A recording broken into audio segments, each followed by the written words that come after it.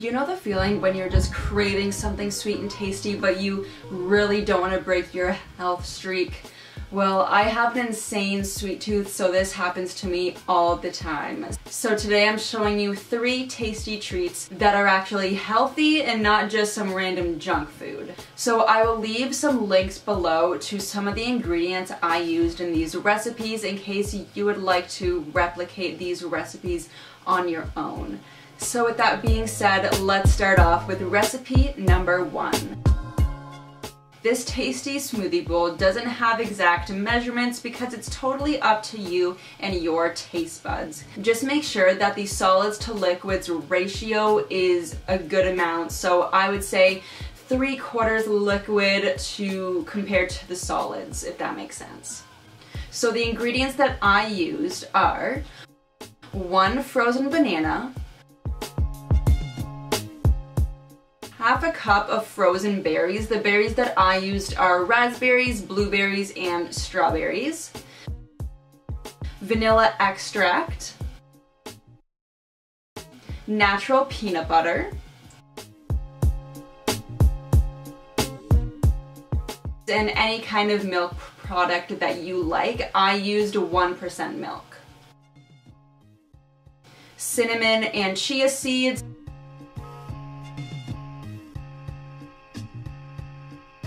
So add the desired amounts to the blender, then add milk and blend it all together.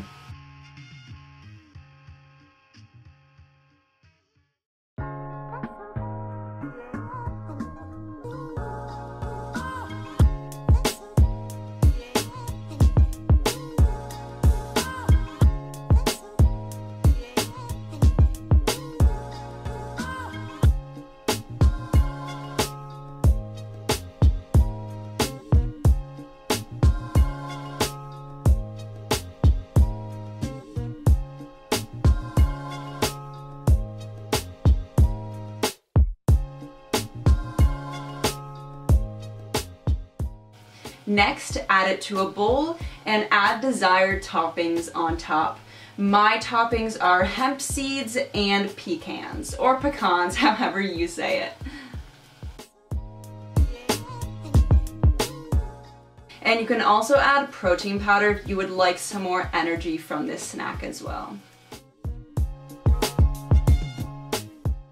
So recipe number two is nutty granola bars slash granola because I kind of messed up a little bit. My ratio from dry to wet ingredients was kind of off, so it turned out to be more of a granola and didn't really stick together much. But I do say some tips in this video so that yours actually turn out to be bars, unlike mine, which is more of a granola.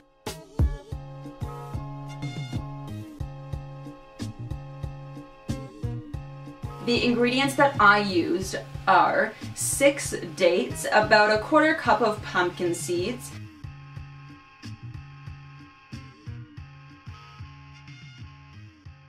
half a cup of almonds, um, one 100 gram dark chocolate bar, natural almond butter, maple syrup, and then I topped it with shredded coconut, which is a totally optional ingredient.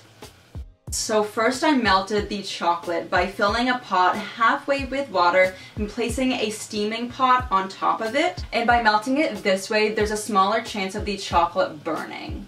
Next, we're gonna place the dates into a blender and I ripped the dates into smaller pieces so that it's easier to blend. Then I added the pumpkin seeds and the almonds.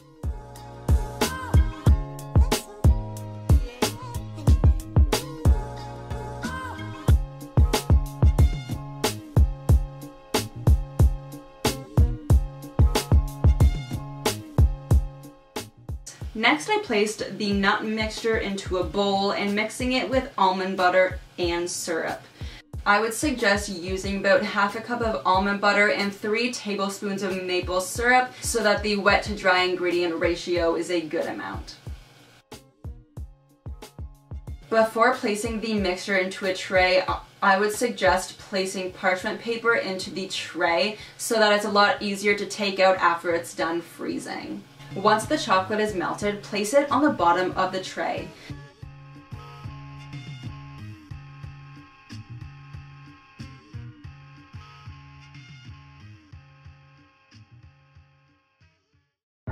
Next, pour the nut mixture on top.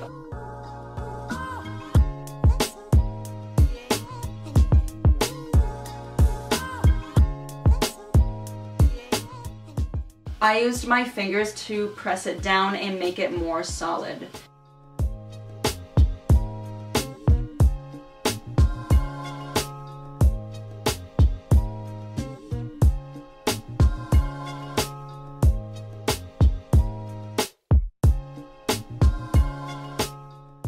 And freeze it for about three or more hours until it feels solid.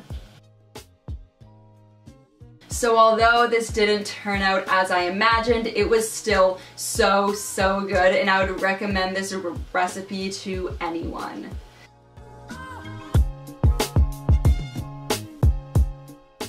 So the final recipe is a great snack for a hot day. I am making Greek yogurt bars with strawberries and nuts.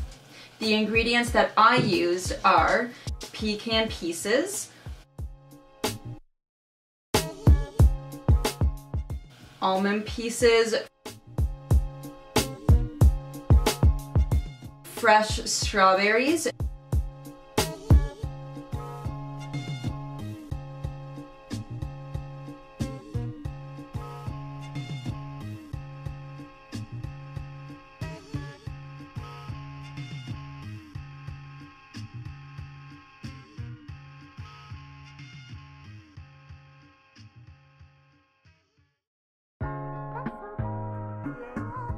vanilla Greek yogurt, and chia seeds.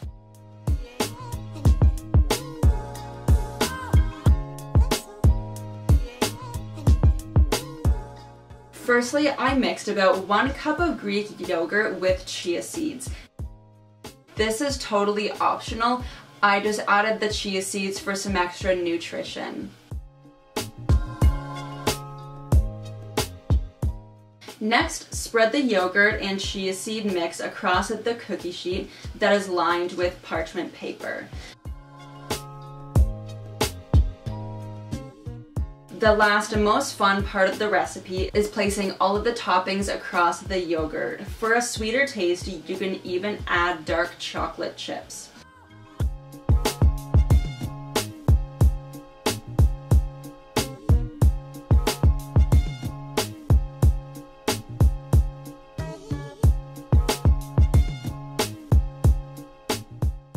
Place it in the freezer overnight or for about 8 hours until it hardens. Then break off a piece and enjoy.